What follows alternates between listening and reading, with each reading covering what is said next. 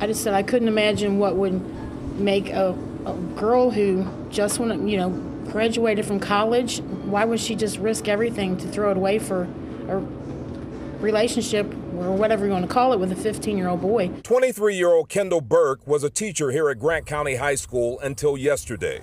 She was terminated after being charged with four counts of rape and four counts of sodomy.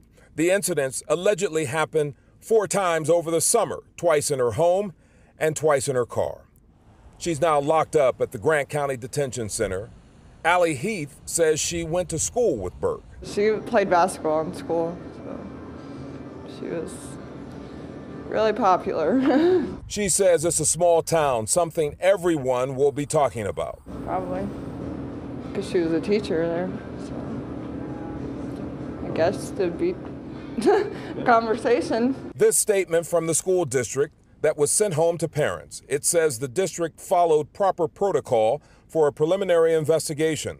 The teacher has been removed from duties. It goes on to say our first priority is and must always be the protection and safety of our students. I don't really know exactly what happened. I mean, I feel bad for everybody involved, actually. I mean, I feel bad for the teacher, and I mean, I just don't know Well, what we do know is that Burke is now locked up at the Grant County Detention Center. Her bond, $25,000. Uh, she is expected in court next month. Reporting live, I'm Curtis Fuller, WLWT News 5.